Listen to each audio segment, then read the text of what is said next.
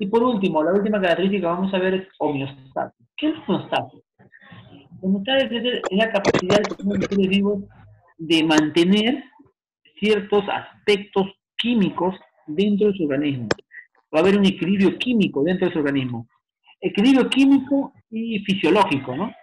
Equilibrio químico me refiero a, la cantidad de iones, ¿no? La cantidad de sal, la cantidad de, hidrógeno, la cantidad de, sustancias, ¿no? Dentro de, dentro, dentro de mi cuerpo, principalmente en mi sangre, ¿no?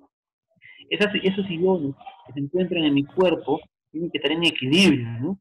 Pero ¿qué pasaría si, si, esos iones están demasiado? Por ejemplo, ¿qué pasaría si yo tengo demasiado calcio en, mi sangre? ¿Qué pasaría si yo tengo demasiado, por ejemplo, sodio, potasio en mi sangre? ¿Qué pasaría? Se elimina, ¿no? ¿Por dónde se elimina? Se elimina por la orina. Se elimina por la orina. Ahora, otro aspecto, es un aspecto químico, ¿no? Un aspecto fisiológico vendría a ser, por ejemplo, la temperatura.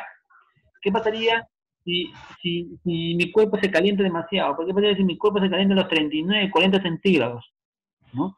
Si yo tengo un problema de hipertermia, ¿no? Entonces yo empiezo, mi cuerpo empieza a, sentir escalofríos, ¿no? Entonces, normalmente mi cuerpo tiene que tener una temperatura de 37 grados centígrados, cercano a 37 grados centígrados. De esa manera se mantiene en equilibrio. Entonces, a eso se llama homeostasis, que es el equilibrio el equilibrio químico y fisiológico de un organismo. La temperatura, ¿no? la cantidad de iones, todo se mantiene en equilibrio. por ejemplo, tiene que estar en homeostasis. Ya joven. Con esto ya culminamos y como les mencioné, ahí tenemos una práctica, ¿no? Esa práctica tienen que desarrollarla. Son 10 preguntas, ¿ya? Tienen hasta mañana para presentarme esta práctica, ¿ya? Hasta mañana. Mañana a las hasta las 9 lo voy a, pueden entregar esta práctica. 9 de la mañana. ¿Ok? ¿Listo?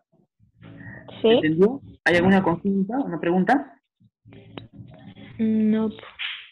Ya, ok. Cualquier consulta por WhatsApp, pero la, esta, ustedes tienen que presentarme la explicación en su cuaderno, ¿no? Todo el desarrollo, un resumen de toda la explicación que, toda la explicación que he desarrollado aquí en la clase, en la clase virtual, lo tienen que copiar en su cuaderno y enviarme una foto para yo poderlos evaluar. Y lo otro es la práctica, ¿no? Su práctica tiene que marcar la clave que corresponde, ¿ya? según la explicación que le he mencionado. ¿De jóvenes? Eso tienen hasta mañana, hasta el día de mañana, a, las 9 de la mañana. Hasta las 10. ¿El resumen puede ser corto o tiene que ser largo? corto, corto nomás, de, de, de, de cada diapositiva, pero no, mamá, que también, ¿no? Como le mencioné, pues, ¿no? ¿Y ahí hasta qué le dijo que era hasta la evaluación? Mañana hasta las 10 de la mañana. Hasta las 10. Sí. Hasta las 9, hasta las 9, 9, porque tienen clase ustedes, hasta las 9.